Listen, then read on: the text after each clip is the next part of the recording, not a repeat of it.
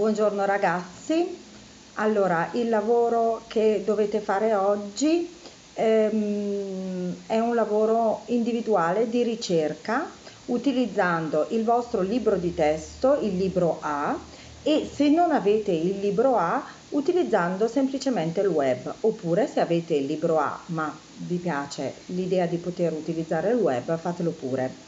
Allora, intanto condivido con voi lo schermo del, del, mio, in questo caso telefonino, perché sto usando la registrazione col telefonino. Andate sul mio mh, mm, blog, quindi blogspot, elisabettascuola.blogspot.com, ok?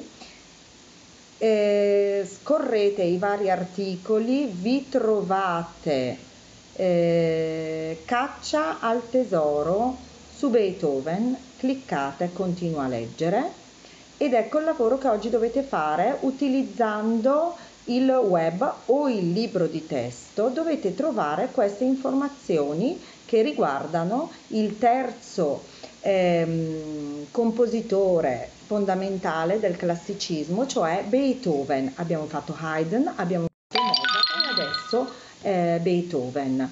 Quindi Beethoven, queste sono le informazioni che voi dovete trovare. Data e luogo di nascita, il numero uno. Strumenti che sapeva suonare. La malattia che ebbe. Le conseguenze di questa malattia sulla vita ed il carattere di Beethoven. 4. Quante sinfonie compose? 5. Confronto col numero di sinfonie che scrisse Mozart. 6. A chi fu dedicata la terza sinfonia? 7. Come fu denominata la terza sinfonia? 8. Situazione finanziaria di Beethoven rispetto a quella di Mozart. 9. Titolo della sesta sinfonia. 10. Cosa descrive la sesta sinfonia? 11. Titolo della sua unica opera. 12. In quale sinfonia è contenuto l'inno alla gioia? 13. Quale messaggio Beethoven vuole trasmettere con l'inno alla gioia? 14. Cosa è diventato l'inno alla gioia? E ultima, perché secondo te è stato scelto proprio l'inno alla gioia? Poi ci sono due ascolti che però faremo la prossima volta. Allora, tutto questo lavoro di ricerca di queste informazioni, voi lo dovete fare utilizzando il web. Poi dovete creare un documento in cui scrivete tutte le risposte a queste domande che io vi ho fatto. Quindi 1, data di nascita e via dicendo e, e scrivete. Eh, questo lavoro poi ognuno di voi me lo dovrà inviare via posta elettronica alla mail. Vi faccio vedere un attimino.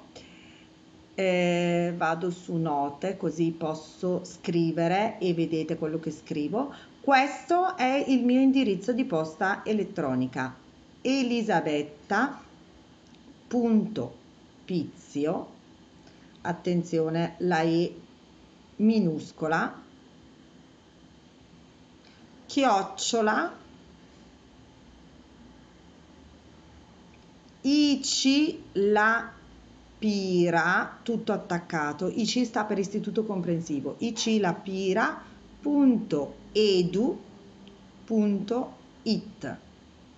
Questa è la mail quindi elisabetta.pizio con una z eh, chiocciola icilapira.edu.it a questo indirizzo di posta elettronica voi dovete inviarmi il lavoro che avete fatto, il lavoro di ricerca su Beethoven rispondendo alle 15 domande che io vi ho dato.